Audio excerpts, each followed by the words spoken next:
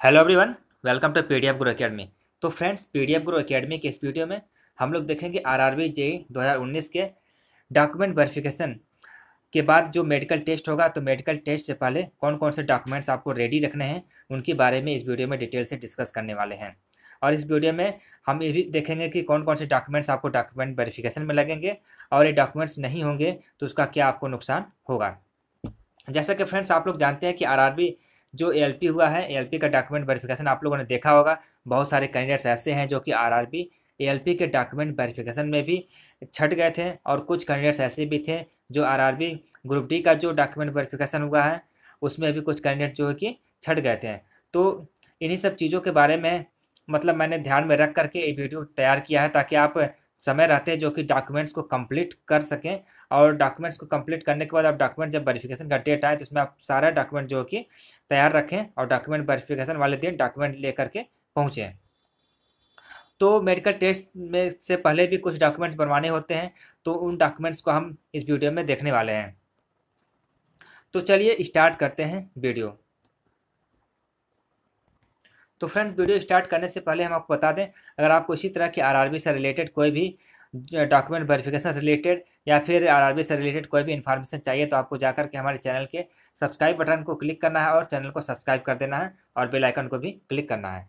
तो फ्रेंड्स हम बता दें आपको कि जो डॉक्यूमेंट वेरिफिकेशन का जो मैंने इससे पहले एक वीडियो बना रखा है, अगर आपने नहीं देखा है तो जाकर के देख लीजिए और अगर नहीं देखा तो मैं क्या करता हूँ, आपको डिस्क्रिप्शन में उसका लिंक भी प्रोवाइड कर दे रहा हूँ।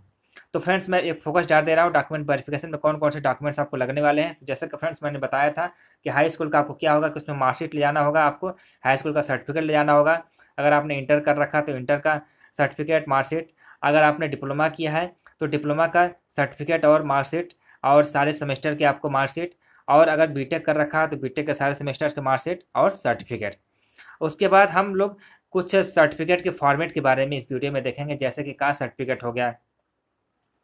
तो जो लोग रिज़र्व कैटेगरी से आते हैं, उनके लिए कास्ट सर्टिफिकेट बनता है तो उन कास्ट सर्टिफिकेट का फॉर्मेट क्या होगा तो हम इसको इस वीडियो में देखेंगे।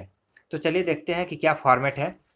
तो फ्रेंड जैसा कि आप स्क्रीन पर देख पा रहे हैं, यहाँ लिखा गया है form of caste certificate for S C S T यानी कि S C S T candidates के लिए जो कास्ट सर्टिफिकेट का फॉर्मेट है, वो क्या होना चाहिए? तो फ्रेंड्स यहाँ पर अनेक्जर वन लिखा हुआ है, आपको क्या करना है आर आर बी का ऑफिशियल वेबसाइट पर जाना है और वहाँ से ऑफिशियल नोटिफिकेशन डाउनलोड करना है और उसमें आकर के यहाँ पर अनेक्जर वन देखना है, यहाँ पर लिखा हुआ form of caste certificate for S C S T and S C and S T candidates यानी कि S C S T candidates को इस तरह का जो फॉर्मेट में आपको कास्ट सर्टिफिकेट बनवाना है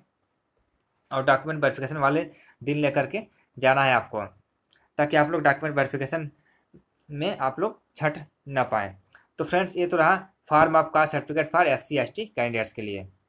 अब हम लोग देखेंगे कि ओबीसी कैंडिडेट्स के लिए जो कि उनका फॉर्मेट क्या है कास्ट सर्टिफिकेट का तो अगर हम ओबीसी कैंडिडेट्स के लिए बात करें तो ओबीसी कैंडिडेट्स के लिए अनेक्जर टू में दिया हुआ आप ऑफिशियल नोटिफिकेशन डाउनलोड जब करेंगे तो उसमें लिखा हुआ अनेक्जर टू उसमें लिखा हुआ कि ओबीसी सर्टिफिकेट फॉर्मेट तो उनके लिए ओबीसी कैंडिडेट्स के लिए जो सर्टिफिकेट का फॉर्मेट होगा, कुछ इस तरह का होगा। यह लिखा हुआ form of certificate to be produced by other backward class यानी कि ओबीसी कैंडिडेट्स के लिए। तो ओबीसी कैंडिडेट्स के लिए फ्रेंड्स ये है फॉर्मेट तो आप ऑफिशियल नोटिफिकेशन में जाएँगे और यहाँ पर जो लिखा हुआ अनेक्जर टू ये वाला जो सर्टिफिकेट होगा ओबीसी सर्टिफिकेट फॉर्मेट ऐसा आपको बनवाना होगा ओबीसी सर्टिफिकेट उसके बाद फ्रेंड्स हम बात करते हैं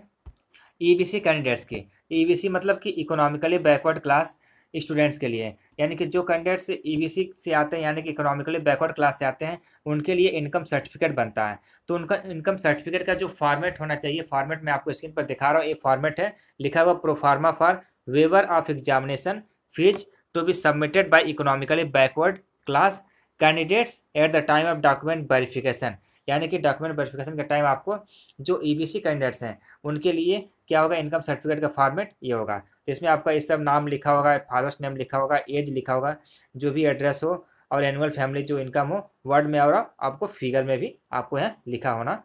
चाहिए। तो इस तरह का सर्टिफिकेट आपका होगा, income certificate economically backward class students के लिए। अब हम फ्रेंड्स बात करेंगे कि जो आपका आर आर, जो आर आर बी जेई का जो डॉक्यूमेंट वेरिफिकेशन होगा तो डॉक्यूमेंट वेरिफिकेशन के बाद फ्रेंड्स आपका मेडिकल टेस्ट भी होना है। तो मेडिकल टेस्ट से पहले कुछ कैंडिडेट्स के लिए जो ज़रूरी मेडिकल सर्टिफिकेट हैं, आपको देना होता है। तो उस मेडिकल सर्टिफिकेट का क्या फॉर्मेट है, उसको हम आपको दिखाते हैं कि मेडिकल फॉर्मेट क्या है और उसी फॉर्मेट आपको जो है कि मेडिकल सर्टिफिकेट बनाना है। तो फ्रेंड जैसा कि आप स्क्रीन पर देख पा रहे हैं यहाँ पर लिखा हुआ सर्टिफिकेट ऑफ़ डिसएबिलिटी यानी कि ये सर्टिफिकेट उन कैंडिडेट्स के लिए है जो लोग डिसेबिलिटी कैटेगरी से आते हैं। यानी कि सर्टिफिकेट ऑफ़ डिसएबिलिटी का ये क्या है? फॉर्मेट है। यहाँ लिखा हुआ है, आपको देख सकते हैं, जैसा कि स्क्रीन पर लिखा हुआ in case of of amputation और complete permanent paralysis of limbs और dwarfism and in case of blindness तो इन कैंडिडेट्स के लिए क्या है? सर्टिफिकेट ऑफ़ डिसेबिलिटी का फॉर्मेट ये है। और यहाँ पर क्या लिखा जाएगा? आपका name and address of the medical authority issuing the certificate तो यहाँ पर आपका नेम और एड्रेस रहेगा मेडिकल अथॉरिटी का, जो कि आपको ये सर्टिफिकेट इश्यू करेगी। तो यहाँ पर आपका सर्टिफिकेट नंबर लिखा होगा फ्रेंड्स और आपका यहाँ पर जो भी नेम और नेम और डेट ऑफ़ इशू लिखा रहेगा, और यहाँ पर आपका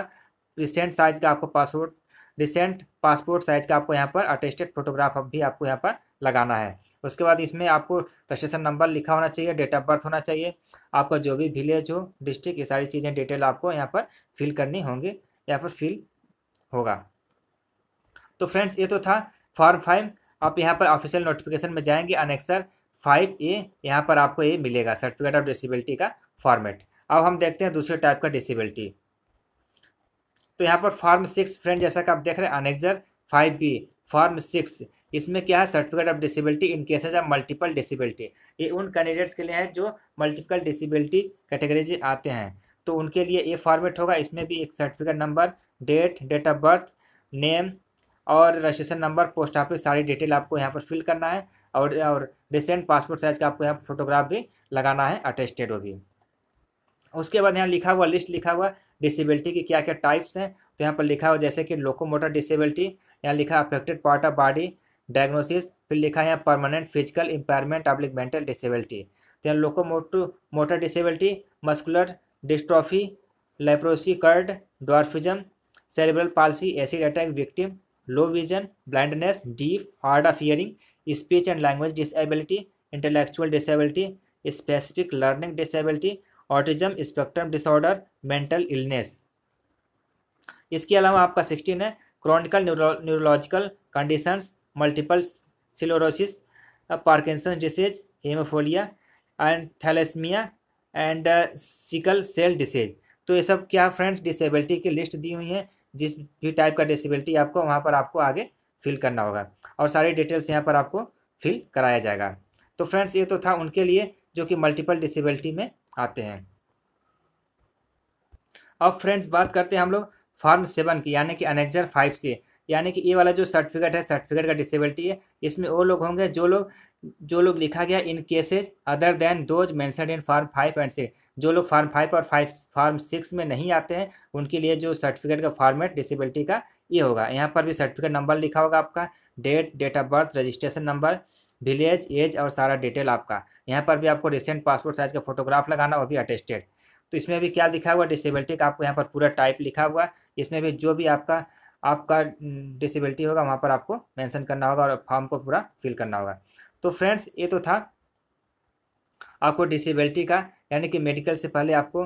टेस्ट से पहले आपको क्या बनाना पड़ेगा, ये सारे सर्टिफिकेट आपको बनाने पड़ेंगे। तो फ्रेंड्स ये तो था आपका पूरा डॉक्यूमेंट वेरिफिकेशन से रिलेटेड जितने भी डॉक्यूमेंट्स लगते हैं, उन डॉक्यूमेंट्स के बारे में हमने बता दिया है। तो फ्रेंड्स ये तो अगर आपको इसी तरह की कोई भी अगर जानकारी चाहिए आरआरबी से related RRB J document verification से रिलेटेड तो आपको हमारे चैनल को सब्सक्राइब कर लेना और बेल आइकन को भी क्लिक कर लेना है। तो चलिए फ्रेंड्स वीडियो देखने के लिए थैंक्स